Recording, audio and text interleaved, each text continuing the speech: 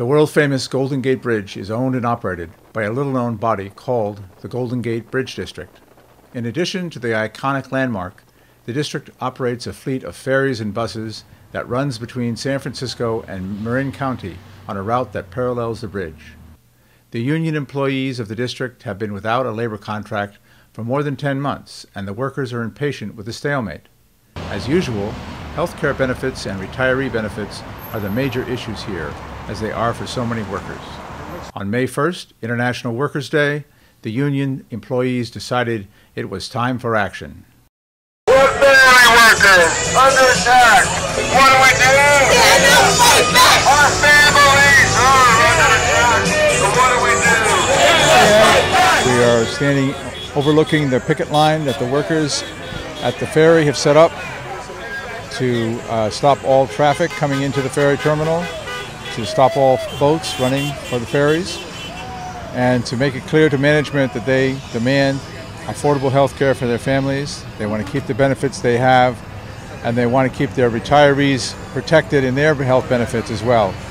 And today is May 1st, International Workers' Day. So this event has a, a resonance which is going to be felt around the world. As many workers all over the world are struggling with keeping their health care, keeping their benefits, keeping their jobs, and keeping their wages at a level where they can live and support their families. I'm Alan Cote. I'm the national president of the Inland Boatmen's Union of the Pacific.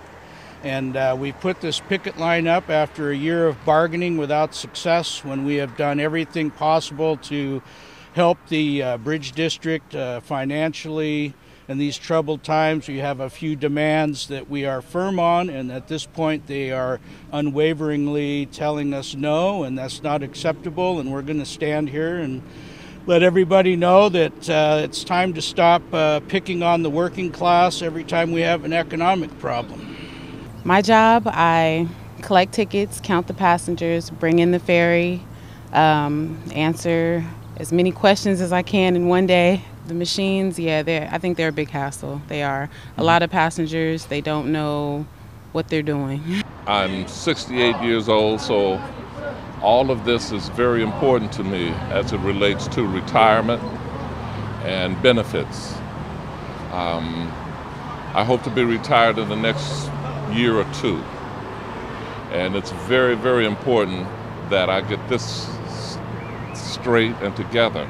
Renee, I know that one of the big issues here for the for the TAs at long term is that the district is talking about getting rid of the ramps that uh, connect the boats to the dock, and with that, uh, get, intending to get rid of uh, some of the, the terminal assistant jobs. Is that correct? Not just remove the gangways, but removing us at the same time, you know, just like they did to the, the, the, the ticket agents. But unfortunately, we got people trying to take away things from us that we've earned the right to have over the years and everything. You know, the, the American people are, are the people that turn the wheels of the economy. Without us, you know, the wheels don't turn and nothing gets done. Right. And, and, and having said that, you, got the other people that sit on top of the world, you know. And, uh, you know, they look down upon us as servants, you know. And all we're trying to do is eke out a living here. Why is it that the uh, bus drivers don't have to pay the kind of uh, uh, enrollment uh, costs that they're demanding from the other workers here? You know, that's a good question.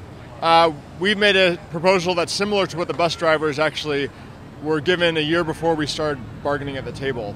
And they have a fixed wage diversion in terms of paying for their health care. That's what we've been offering um, at the table, and the district's denying it. And that's one of the reasons why we're really pushing back against what's going on here. The issue that you brought up at the table apparently is uh, a demand for a percentage of enrollment cost, but the bus drivers aren't paying that. Why is that? I don't know what their contract involves, and I'm sure it'll come up for if if they're when their contract expires. I, I they're a separate entity to that. That's one of the issues that uh, I think rankles the coalition the most is that you're not demanding from 250 workers on the one side what you are demanding from the 380 I, workers I in the coalition. Speak to that. Today is the turning point. Today, I, I think, is, is uh, the day that's going to mark uh, a complete turnaround in the way business is being done. Okay. I think it's just most unfortunate that uh, uh, a lot of people still don't understand that the real criminals are the people that made off with all of our tax dollars here. The guys finally did it. We finally did it. You didn't believe it was ever going to happen. Finally, no. It's been going on for years. That's right. So uh, tell us, Dave, what your, your background is with the uh, food and commercial workers, isn't it? 40 years. 40 years, 40 right? years. And how many strikes were you in over there? I was in five. Two of them weren't authorized. Unauthorized strikes. Unauthorized. Rank and file strikes, huh? Rank and file strike. Uh-huh. We, we took matters in our own hands. Am I going to be on TV? You're on TV. Well, you're going to be on. You're going to be on YouTube. We're reporting here from the site of the strike, the first strike that's occurred for many years at the Golden Gate Ferry, as the workers are making clear that they are not willing to give up the health care benefits that they have now, especially for the families that require health care benefits. So this is an important issue for them, and they are here on a picket line, shut, having shut down the ferry for the morning on May 1st. And uh, if they say if they don't get what they need, they'll be back and uh, on strike again. This is Frank McMurray for Golden Gate Justice, reporting from Larkspur Ferry Terminal. Go get them. Go get them. All right. All right.